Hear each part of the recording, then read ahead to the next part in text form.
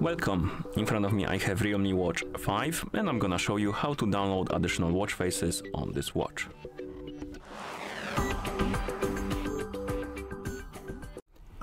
First, if you want to download additional watch faces on your watch, your watch needs to be paired with a phone via the Realme Link application. And once the devices are paired together, we can continue and now we can open the Realme Link application on the phone that is paired with our watch. Actually, reopen it so we can see the home page. Once you open the app, you should see the home page.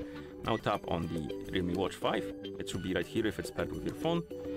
And now we can tap on Face Gallery ah, okay and here we have the list of different categories you can download the watch faces from so find the category you like open by tapping all scroll through the list find the watch face you like and then you can tap on it tap on the sync to device the watch will start downloading and uploading to your watch and once it's done it will be applied.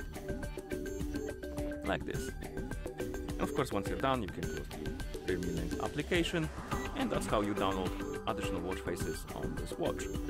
Thank you for watching. If you found this video helpful, please consider subscribing to our channel and leaving a like